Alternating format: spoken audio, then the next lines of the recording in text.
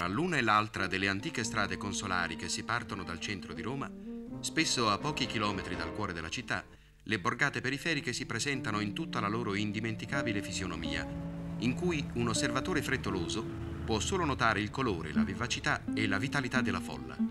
Ma chi si addentra in mezzo alle casupole e alle baracche non può non avvertire situazioni sociali e condizioni di ambiente che purtroppo sopravvivono ancora.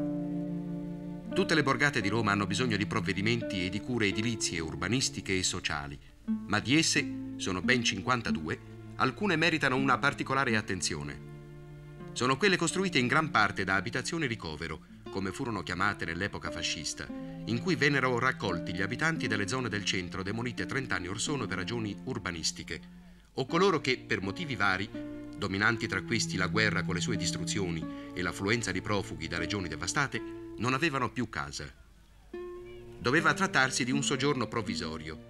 Casa ricovero significa infatti un solo ambiente, spesso per tutta una famiglia.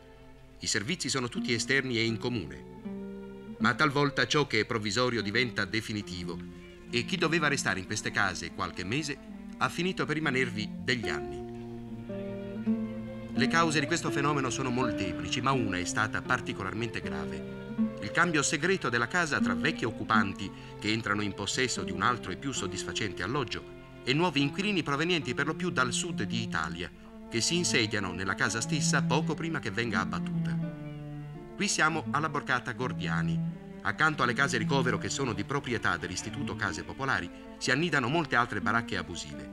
Metà della borgata è stata demolita e gli abitanti trasferiti in nuovi e salubri alloggi dei quartieri periferici di recente costruzione. L'altra metà andrà smantellata tra breve. Signora!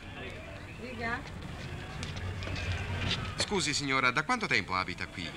Sono 18 anni. Come è venuta in borgata? Dove abitava? A San Lorenzo, sono sinistrata di San Lorenzo. Ah, in seguito ai bombardamenti? Sì, sono stata sinistrata il 19 luglio e sono venuta in borgata. In quanti siete? Come è composta la sua famiglia? Io, mio marito e due maschietti. I bambini vanno a scuola?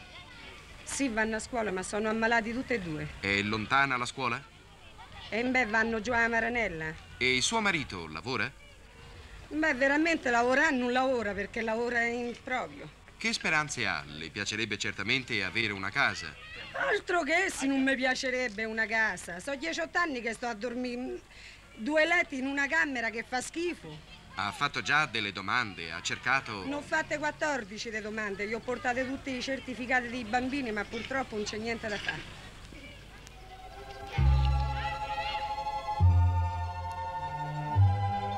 Il borghetto latino è tutto fatto di case abusive, costruite nelle più strane fogge, e si estende sul tracciato dell'antica via latina, tra la via Appia antica e l'Appia nuova.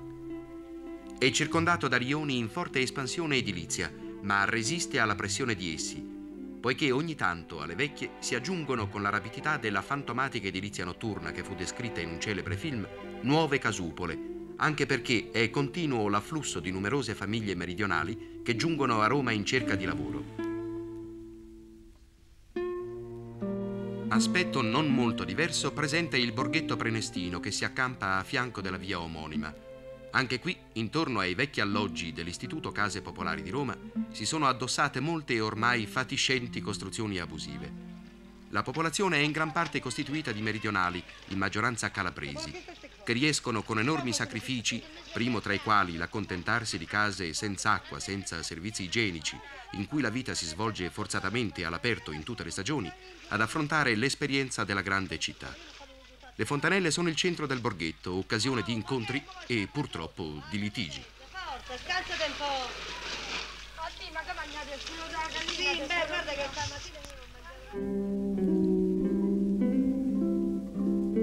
Durante il giorno, poiché anche molte donne lavorano fuori casa, i bambini rimangono padroni del borghetto. I più piccoli giocano sotto lo sguardo delle sorelle più grandi, bambine anch'esse, a cui spesso è affidata la responsabilità delle faccende di casa.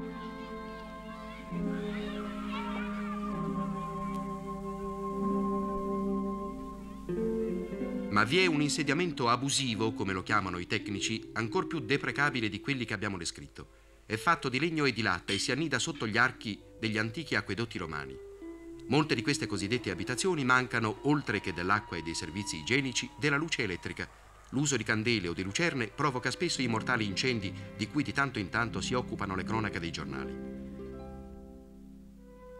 Queste capanne lungo le rive della Niene sono esposte al pericolo delle piene e delle alluvioni e gli abitanti si trovano spesso in pericolo di vita. Le situazioni che abbiamo voluto tratteggiare in tutta la loro cruda realtà sono state affrontate dal governo e dal comune. Il ministro dei lavori pubblici ha creato, ora un anno, una commissione con il compito di preparare un piano organico per la totale scomparsa delle abitazioni malsane e per la sistemazione in nuovi insediamenti urbani degli abitanti di esse. Qui siamo a Tor dei Schiavi. Tra gli ospiti di queste nuove case si trovano molti di coloro che hanno sofferto per anni la triste esperienza delle borgate abusive.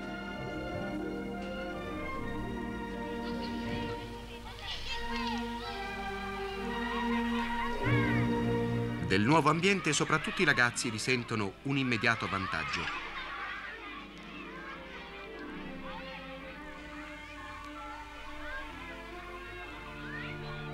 Ponte Mammolo dà il nome a una nuova borgata modello, fresca di case candide e fiorite, che si arricchisce anche della presenza dell'istituzione Gerini, fornita di impianti sportivi, di una scuola industriale e di un centro ricreativo affidato ai padri salesiani. San Basilio, tra la via Tiburtina e la via Nomentana. Una borgata composta tutta di case nuove, case popolari ma decorose e ospitali.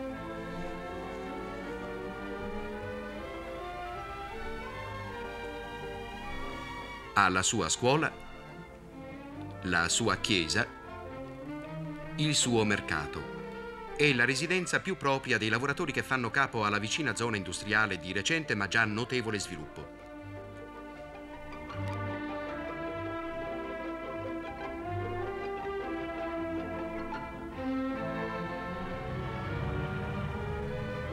Nei pressi della via Nomentana, man mano che scompaiono le vecchie case ultrapopolari, sorgono gli edifici di Pietralata, un'altra borgata che tra non molto potrà considerarsi risanata.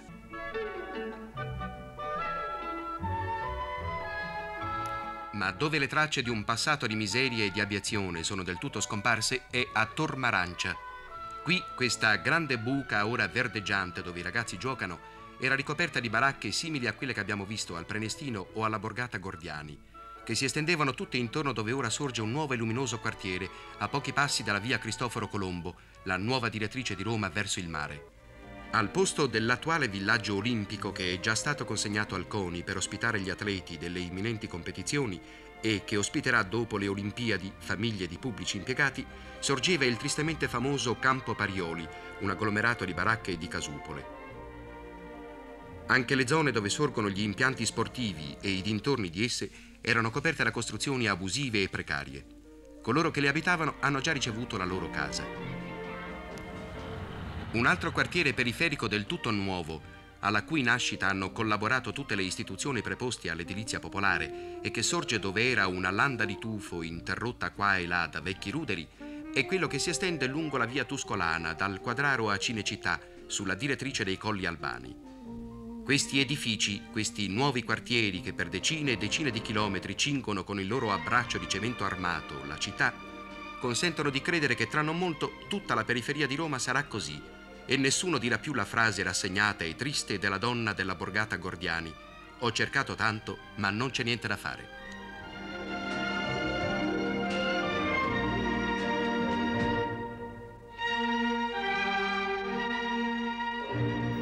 La strada mia. La strada è lunga, ma erde più l'ho fatto. So dove arrivo e non me piglio pena. C'ho il cuore in pace e l'anima serena del savio che s'ammaschera da matto. Se mi frulla un pensiero che mi scoccia, mi fermo a bere e chiedo aiuto al vino. Poi me la canto e seguito il cammino col destino in saccoccia.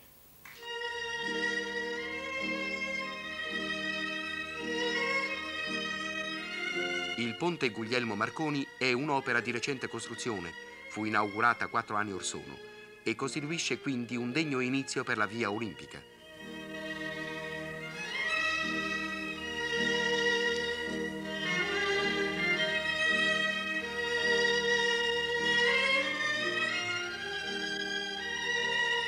Dopo la via Oderisi da Gubbio, una prima parte di nuova costruzione.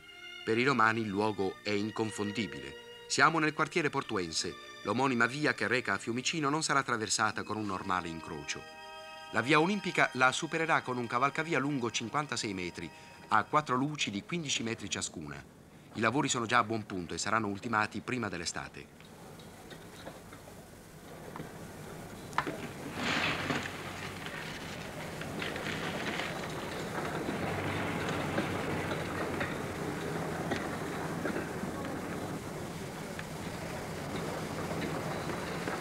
Anche per superare la strada ferrata della linea Roma-Pisa un altro cavalcavia. È in cemento armato precompresso, a 35 metri di luce.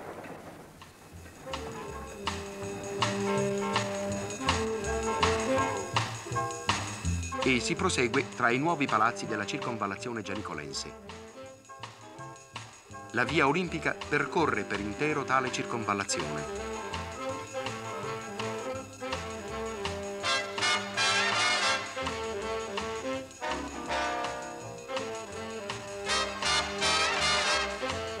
Ne sfrutta l'ampiezza. Attraversa una zona costruita in questi ultimi anni, un arioso quartiere sorto in gran parte con le provvidenze dedicate all'edilizia sovvenzionata. Qui ci si trova circa a metà della via olimpica. E qui si incontra un altro allacciamento di nuova costruzione che collega la circonvallazione gianicolense all'antica via Vitellia.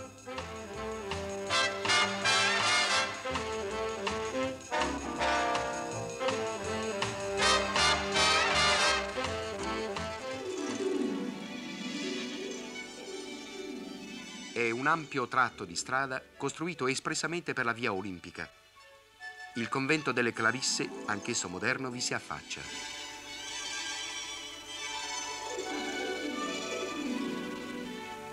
Si sale al punto più alto di tutto il percorso, alla piazzetta del Bel Respiro, che riporta per un attimo nel clima della Roma di un tempo. Quindi, sempre col tracciato di nuova costruzione, si discende attraverso la villa Doria Panfili, il tratto è ormai in via di ultimazione. Si sta ponendo la massicciata, cioè il sottofondo stradale.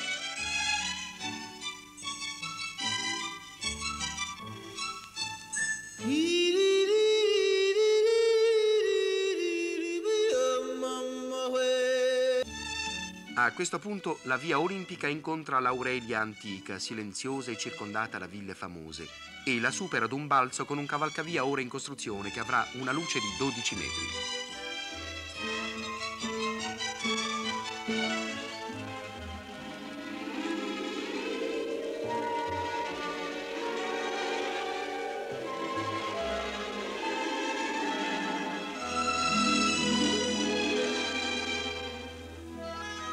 La villa del Vascello con gli alberi secolari è a qualche centinaio di metri dalla via olimpica e richiama con le sue mura sberciate i ricordi garibaldini.